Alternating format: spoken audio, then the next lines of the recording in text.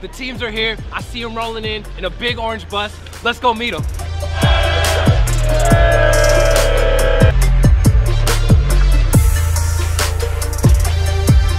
What's up everyone? We're here with Just Eat, official partner of the UEFA Champions League, and we made it. We're here in Paris. The center circle flag carriers are ready for the final, but first, let's show them what this amazing city has to offer. Let's go. The first experience we're taking the guys from London and Cologne on is a trip to see what Paris looks like from the water.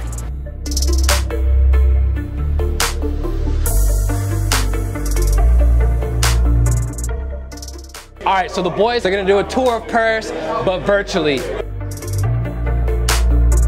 It was sick though, it was Yeah, incredible. it was good fun.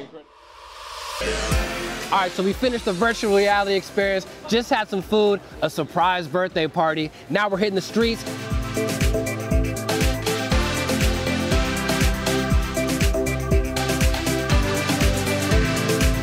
It's the day before the match, but we're not slowing down. We're at the Good Planet Foundation where the boys are gonna do a little cook-off, and maybe there's even a special guest involved.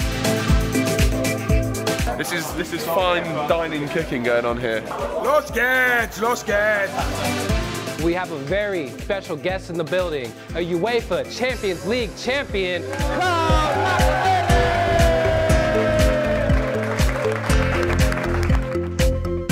I'm very surprised. Uh, no, uh, you have good uh, tasting. The dessert uh, and the, the starter. It'll be uh, very interesting. I think I can do better than this, but uh, I enjoy a lot.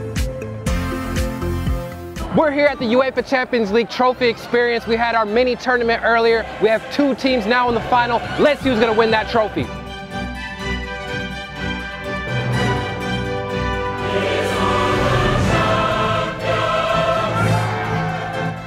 We're going to see the Champions League trophy. Time to top off a fantastic week. This is the moment. Let's go!